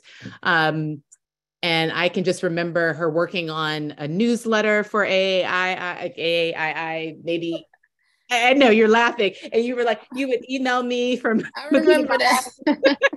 like we're. I remember writing handwritten letters. I know, but I mean, just your commitment and your level of just focus, and you knew that this is something that we can do, and here it is, 20 years later, and you're still just like gently pulling me along, like this is what we can do. So, inshallah, um, you know, and even my community here, Majida Abdul Karim knows that she works uh, very closely with the board of Muhammad schools you know, that was um, started with the, the vision of Imam Zabidi Muhammad and that legacy. And I went to the school and I went there all my life, but I've never taught in the school. Um, and actually my children have not been there. So, so I'm at a place now where these things are heavy on my heart and my mind. And, you know, maybe, maybe finally I can like see like, where do I fit in? You know, maybe this connection between what's happening with the Quran schools in Medina Baye and seeing if we can have something that's going on with Muhammad schools of Atlanta, you know, because I know they've always wanted to have a, a separate part that is for studying Quran. So inshallah, inshallah, it's, it's coming together. But thank you for your patience and your vision. May Allah, I have noticed it has not gone unnoticed. May Allah bless you. Okay. Any other questions? Let's see. And Seyda Kubra, I know that you were mentioning that you've been sending me some pictures. I think this is you, but I don't think I'm receiving them. I don't know if the other Ruhul Adab hosts can see, or I don't know maybe where to look to get the attachments because our dear Seyda has been sending me photos that she's wanted me to share, and I don't know, I don't know where they are. Unfortunately, if anyone knows, please help us. Um, I'm sure that there are other questions or comments. Alaikum. assalam How are you guys? It's great to see y'all. Thank you, Vegeta, for sharing the app because I miss you guys so much. Um, may Allah bless y'all. Um, my question is two questions. One, I don't know, I couldn't really figure out how to formulate the question, but the mentioning of like women's scholarships and the efforts towards um, women's scholarship, I wanted to know like I don't know how could how could two questions. One, how could somebody support who is from America or in America support really good, really good from here? Um, you know, being here in America, how can we support, you know, outside of maybe funding, maybe like in terms of skill set? Um, I'll also tap and mention again because I forgot that I had mentioned that. But when somebody had mentioned about the documentary, all I do in America right now, like my work is around film and archiving Black history and different things like that. Um, and so things like that, that, you know, could each person can kind of put forth that's like, hey, this is like my database kind of thing. So how could one, how can somebody support just the effort from here in terms of the general effort of um, you know, supporting uh, folks from the diaspora and from America in their his journey, and then specifically honing in on the efforts that are currently happening around women's scholarship and how somebody could support with those efforts around women's scholarship. I think that's like a cohesive question. Well, I think that um, you know, we one, we can always support the schools that produce these students. But if you have it in your heart to do something maybe even more specific, you know, we can support the efforts of like somebody like Asma who's traveling, you know, all of these things require heavy resources, you know, it requires resources, it requires staying connected. You know, it's not easy to be away from family and kind of commit to a, a path of scholarship. Um, even like specifically for her case, she, her uncle is actually going there to stay with her for a whole month so she can get situated and get acclimated and things like that. I mean, as a community, if there was a way for us to create network, I think I had reached out to Aisha Karim at one point about if she knew someone who lived in Malaysia, you know, just create a network. Those of us who have been to college or other places or know people in places, all of these things are efforts to support people in scholarship. You know, you may you may be in a position where you work to collaborate with somebody who is an administrator at a school. And perfect example, um, Sister Karima, when Hassan, I think Furqan, um, some of the people, when they came back from Senegal, when they went to Senegal, they were very young. So when they came back from Senegal, they didn't have they hadn't completed like a high school, a traditional high school program, but she was she knew somebody, maybe who knew somebody, and they were able to get them into a program, and they were able to take their GED and go straight into college. So I think that, and these are all community members. I think those kind of connections and those kinds of links are still needed.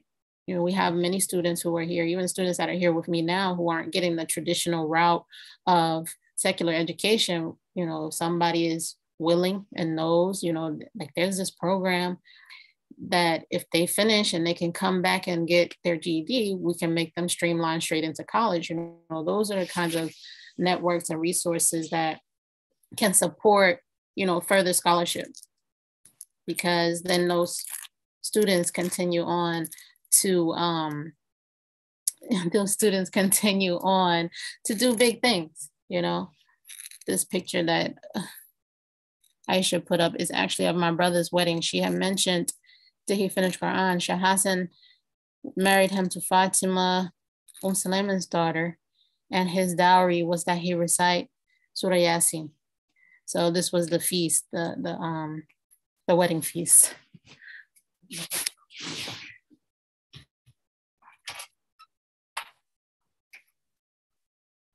Alhamdulillah.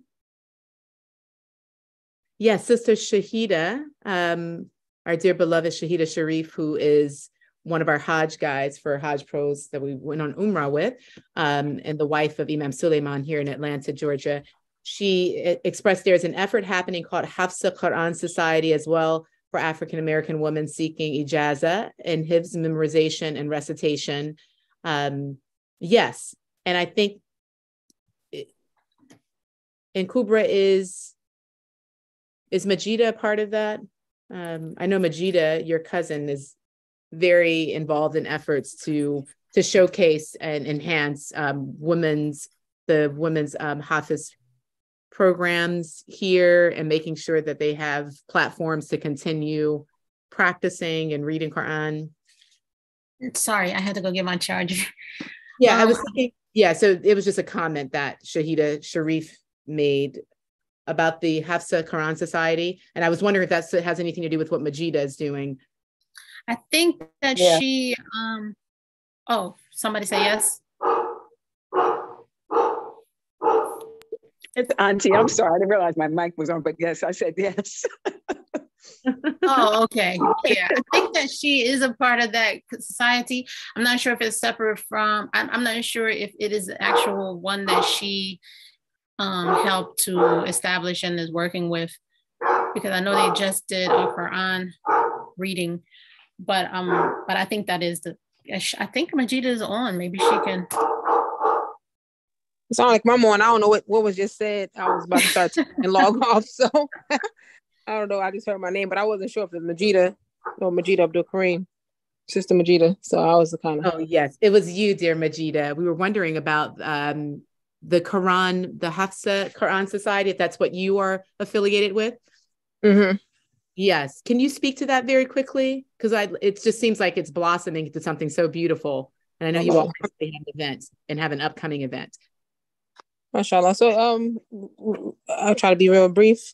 Um of course, you know, as, as, as Sayyidah Kubra mentioned, I was one of the first uh, girls that came into her house, you know, gave her um, a headache a couple times. I never realized she was only 22. I'm like, you were that like you had us up in your house. So alhamdulillah. And then of course Sheikh Hassan, like, you know, always, always, always, always, what story you on? Where's this? You gotta recite. And I'm like, you know, you gotta like whenever we would go greet him, we would be scared, like, oh, I ain't ready to recite today. So I'm gonna have to um make sure I study before I go go over there because I know he's gonna ask us to recite. But one thing that always happened is is um he would always reward you with something. Like you would get something back too. So you know you're young. And that's like, oh, he gonna give us some money. We can go buy some treats, you know, stuff like that. So just that, like having that at a young age, and then going into my teens and um, coming back to America. but before I went back to live with uh, Seyda Kubra, my cousin Ihsan, not cousin, sorry, brother-in-law Ihsan had a school, you know, Dadaji style, and we were up in there. He was writing the writing on the the paper, you know, he made us recite. It was just like he tried to, you know, do the same thing. Alhamdulillah, and and it was it was there was quite a few of us in there in his apartment, just you know, studying. And so, you know, when I got older, you know, I, I unfortunately I disconnected from the Quran somewhat, and so I just when I got to my like becoming a mother, and I'm like, okay, like you really got to reconnect with this. I used to have dreams of Sheikh Hassan, like, what story you on? And I used to be like, I used to be running in my dreams, like, uh, I don't got no source to recite.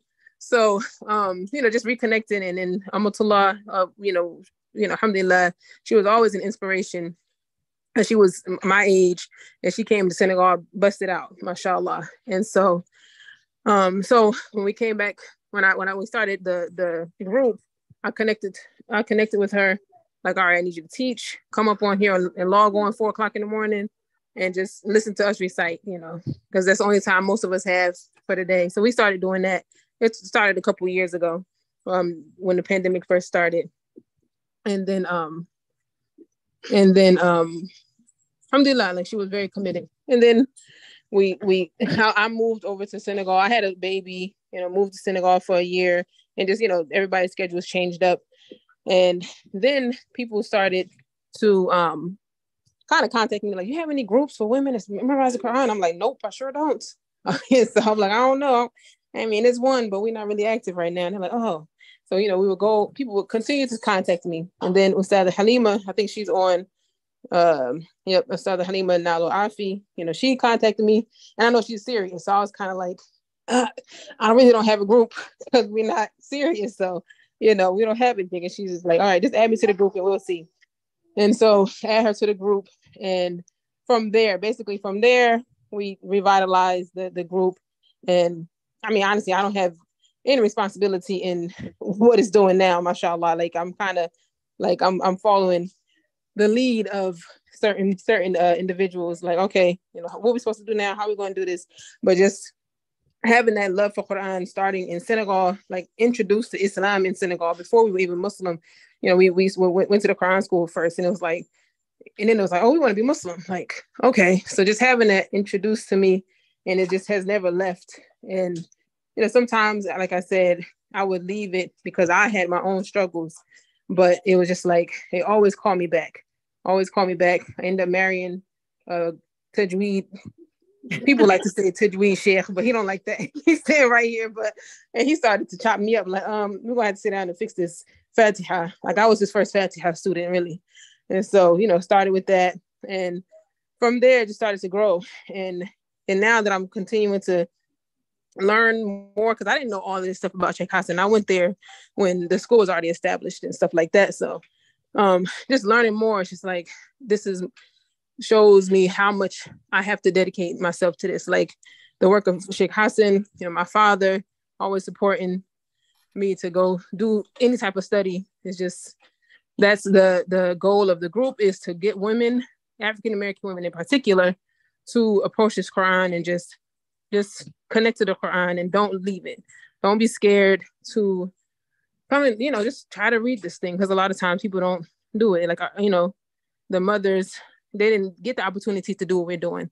And so it's like we want to re- take advantage of that and just just bismillah like that's all you got you got this all you have is the quran so at the end of the day you know that's what you can go to for the, for your guidance from allah. When you when you when you don't have somebody to to talk to you can go to the quran. So i hope that answered your question.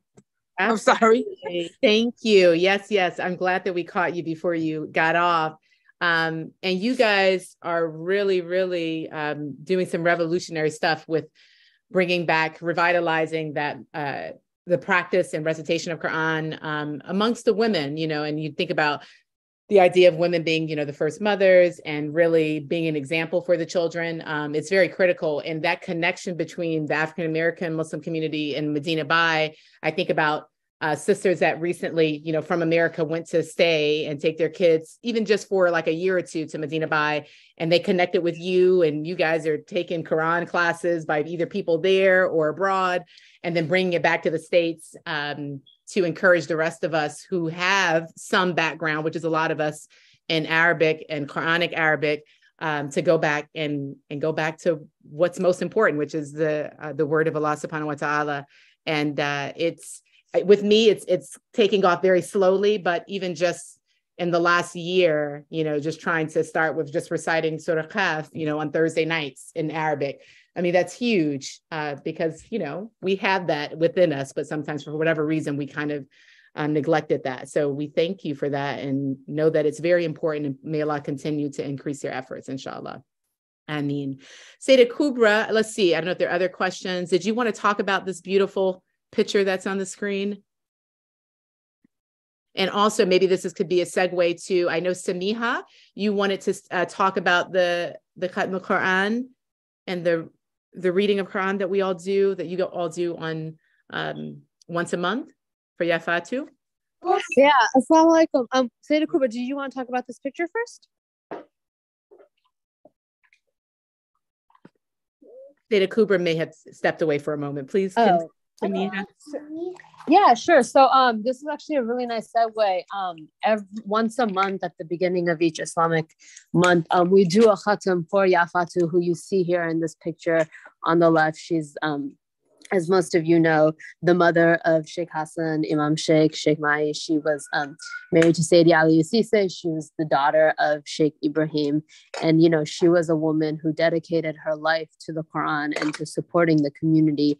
And so um, after her passing in 2020, we started to do these Quran khatams, um, mainly folks who, you know, had knew her from her time, from their time studying as young people in Medina Baye. And so our next one is going to be this upcoming Sunday, um, February 26th at 7 a.m. Eastern. And I'll post a link um, to, there's a WhatsApp group where you can sign up in advance to say um, what juz of the Quran you're able to read in Arabic. And then um, we actually all log on at 7 a.m. Eastern to read together. And then hopefully, if we have enough people, we can finish maybe within an hour or two. There will be a, co- um, a collective um, dua and we'll do the khatam together. Um, for those of you who can read in Arabic, we invite you to join to take a juz or more. Um, from those of you who are still learning, we also invite you to come and recite Salatul Fatih during that time so everybody can, you know, share in the blessings of that. Um, so yeah, alhamdulillah, and I'll post a link um, in the chat for that. Alhamdulillah. Thank you.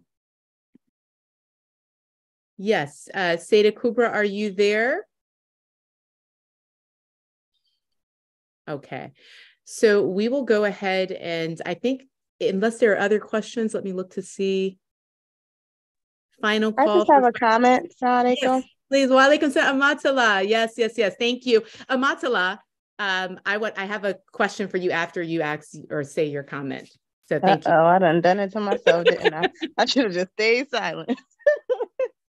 Mashallah. And I was just thinking to myself about, you know, the wholesomeness and the holistic um, nature of the education that we receive in Medina Baye in terms of, you know, learning more than just Quran, like learning the application of Quran in daily life, learning the Islamic Sunnah, like learning to live the Sunnah.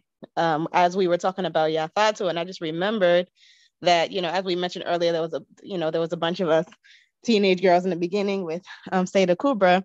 And I remember at one point I used to go with her to um, Wazifa on an almost nightly basis. And we'd go and, and, you know, make Wazifa and then we'd go to greet Yafatu. May Allah subhanahu wa ta'ala have mercy on her. And um, we'd be sitting there, we'd be greeting her and, you know, exchanging a few words and continuing our, um, you know, continu- continuing some azkar. And then Sheikh Mahi would walk in. It was like every single night he would come and greet his mom and sit with her for some time. And it was just like a beautiful thing to say and to see. And it's something that leaves a huge impression. And it's, it's things like that, that, you know, like that's part of the education of Medina Baye is seeing day-to-day application of the sunnah. And it's not something that you're going to get in a book. So I was just thinking about that when you guys were mentioning Yafatu and the Khatma that will be happening, inshallah, I was just thinking about, you know, things like that that you see so much. Like you see the generosity, you see, you know, people helping each other, you see the sharing of water, you see the sharing of food, you see how they interact with their parents, how they interact with their teachers.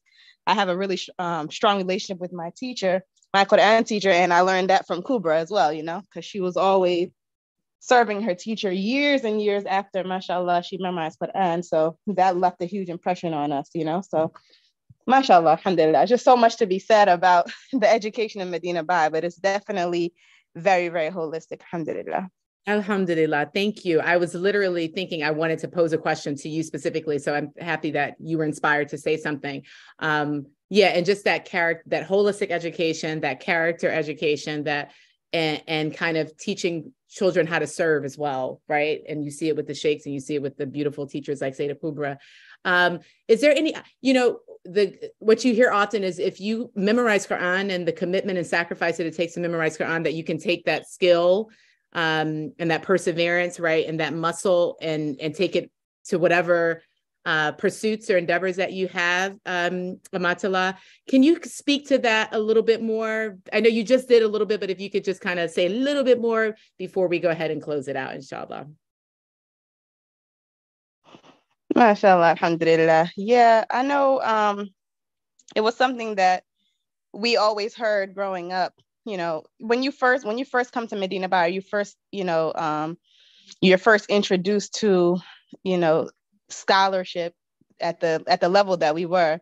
It's it's kind of a shocker in the beginning. It's like, wow, like people that look like me are doing all of this, people that are this little are doing all of this and stuff. And you always hear that yeah you know you you memorize quran and then it opens up everything else for you. You know once you dedicate yourself to allah subhanahu wa ta'ala there's barakah that comes with that and everything else becomes easy. And so i saw a lot of people who did just that. You know even simple things as learning arabic. And it was like you know once you memorize quran learning arabic becomes a lot easier because you have memorized all these words all these different contexts so it comes a lot easier for you to pursue the language afterwards so I know a lot of people that had a lot of success professionally after memorizing Quran, And even though they were out of school for many years, they were able to re-enter ac- academia and do very well. So that was a, a, a, good example for us coming in. Like, you know, as long as you trust in Allah subhanahu wa ta'ala and you dedicate yourself to his words and his book, then there wouldn't be anything that can prevent you from anything anything of the dunya, because of course Allah subhanahu wa ta'ala created all of it and he can just give it all to you. So alhamdulillah. Alhamdulillah. Shukran. Uh, Sayyidah yeah. Kubra. Yes. Um, Hassan used to say to me often, Amatullah, he said, You'll never read anything better. You know, so it was always something I used to come to him crying, like, but everybody else is, he said, You'll never read anything better. You would have heard but something that we all trying to run away from. Alhamdulillah. Alhamdulillah. Alhamdulillah such a beautiful closing thought and idea and message. Um, Sayyidah Kubra, is there anything else you would like to share before we close out in dua? Um, I think we covered everything. Alhamdulillah, alhamdulillah. Just, you know, just continue to keep each other in dua. Yeah. Um, every group it's not always easy to stay connected and sometimes just the purpose of coming together is enough you know for us to come together and to stay connected and opportunities like this one of the reasons and one of when when i was approached by sister angelica to participate um, you know i just really cleared my heart and made a pure intention that it was for the purpose of uh, shining light on the work that Shah Hassan uh, did and is still doing because it's still manifesting in us and other things, and also to connect the hearts. So, inshallah, uh, the purpose of this was fulfilled, and we are praying that Allah continues to elevate him, to have mercy on him, and to be pleased with him, and grant him paradise. Alaihi Wasallam. Ameen. So beautiful. And since we're at the last final seconds and some people have left, maybe I can share my humor and ask if if Sheikh Mahi is around to renew a bayah, but he's probably not. Is he, is he away? I'm actually away. I'm in Dakar. Um, oh, I had to okay. yeah, take care of some things. Uh, we were invited to an, a gathering at the U.S. Embassy. Again, some of the work that Sheikh used to do, trying to make sure we network and keep certain collaborations. Um, we were invited to the U.S. Embassy, and then I had some other things to do. So I'm, I'm still, I'm still here. I'm not in Medina yet. Alhamdulillah. Alhamdulillah. Well, thank you for taking the time out of your busy schedule to be with us. And um, I'm hoping that this has um, renewed our uh, commitment to Allah subhanahu wa ta'ala, first and foremost, and to um, our beloved sallallahu alaihi wasallam, and um, and then also doing the work in the khidmah uh, that needs to be done in the under the guidance of our shuyukh, inshallah, Amin. And and is the picture of us here, uh, Sayyidah Kubra? Do you see us? I'm not sure what picture is up. I see us. That's a, uh, I think a fundraising dinner for what's the organization? They do a whole lot of um different charities under one umbrella. I can't remember the name of it in Oh my, I'm forgetting the name. Um, but I, I, I can't remember. But I think one of the Magahid sisters was there, either Yasmin or um, Dahlia. Right, right. Um, but alhamdulillah. So yes. So you are always in our hearts and you're always in my heart. And I thank you for the friendship over the years um, and the patience and the guidance and the wisdom. And may Allah bless you. And we would we would love and be honored if you would um, close us out with the dua, inshallah, of any anything that you would wish to share with us, inshallah. And thank uh, Ruhul for organizing this um, and for allowing me to facilitate. And may Allah continue to increase the, the program, inshallah. Ameen.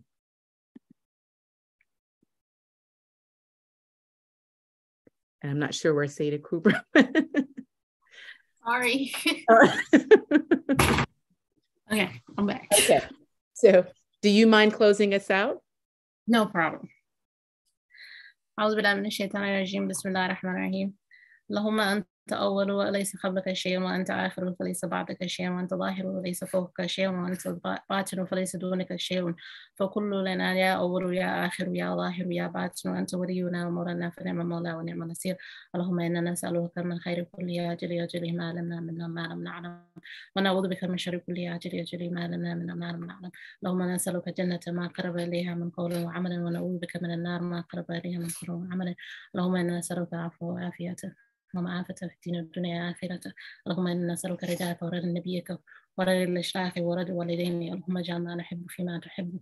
اللهم اجعل في اختيارك واختيارنا ولا تجعل اضطرارنا يا ربنا يا خالق أوامري حل بيننا وبين كل ظالم واجزي لكل من إلينا أحسنه وجازه أنا جزاء الأحسنة اللهم ارفع عنا جهد وجوع وأرجى واشفعنا من بلاء ما لا يكشف غروك ربنا آتنا في الدنيا حسنة وفي الآخرة حسنة وقنا عذاب النار. ربنا لا تؤاخذنا إن نسينا وأخطأنا ربنا ولا تحمل علينا إنسان كما حملته على الذين من قبلنا ربنا ولا تحملنا ما طاقة به. واعف عنا واغفر لنا وارحمنا أنت مولانا فانصرنا على القوم الكافرين. ربنا لا تزغ قلوبنا بعد إذ هديتنا وهب لنا من لدنك رحمة إنك أنت الوهاب. ربنا إننا سمعنا منادي ينادي للإيمان أن آمنا فاغفر لنا بربكم فآمنا ربنا فاغفر لنا ذنوبنا وكفر عنا سيئاتنا وتوفنا على الأبرار. ربنا وآتنا ما وأتنا على رسولك ولا تخزنا يوم القيامة إنك لا تخلف الميعاد. ربنا ظلمنا أنفسنا وإن لم تغفر لنا وترحمنا لنكونن من الخاسرين. ربنا آتنا من لدنك رحمة وهيئ لنا ما أمرنا رشدا. ربنا هب لنا من أزواجنا وذرياتنا قرة أعين واجعلنا للمتقين إماما. اللهم اغفر لحينا وميتنا وكبيرنا وصغيرنا وذكرنا وانثنا وحاضرنا وغائبنا وحرنا وعبدنا وطاعنا وعاسنا اللهم صل على سيدنا محمد الفاتح لما أغلق والخاتم لما سبق ناصر الحق بالحق وهادي إلى صراطك المستقيم وعلى آله قدره المقدار العظيم سبحان ربك رب العزة عما يصفون وسلام على المرسلين والحمد لله رب العالمين Ameen, ameen. Thank you all for showing up uh, and being with us. And um, may Allah continue to enrich and bless you and keep you in His presence. And join us. Ameen. Alaikum. Salam alaikum. Assalamu alaikum, Sayyidah. Shukran. Assalamu alaikum to Jazakallah khairu. Assalamu alaikum to everyone. Wonderful program. Wonderful. Alhamdulillah. Assalamu alaikum, Sayyidah. Wonderful program. Thank you all. Alaikum, alhamdulillah.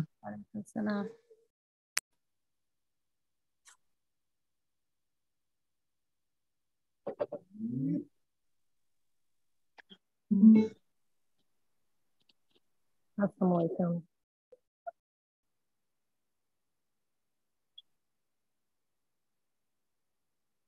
إلا الله لا إله إلا الله لا إله إلا الله محمد رسول الله